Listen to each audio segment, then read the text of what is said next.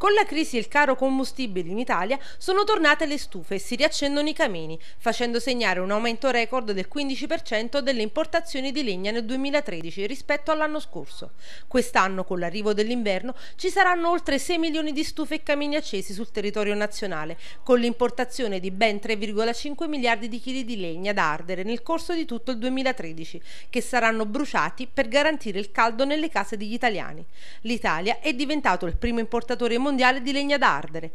Un ritorno ad una modalità di riscaldamento che sembrava dimenticata dovuto al crescente interesse verso una forma di energia che è diventata competitiva dal punto di vista economico, oltre ad essere più sostenibile dal punto di vista ambientale. Sul territorio nazionale sono presenti 10 milioni e 400 mila ettari di superficie forestale, in aumento del 20% negli ultimi 20 anni, di cui viene utilizzato meno del 15% della ricrescita annuale a fronte di un 65% ad esempio della Germania.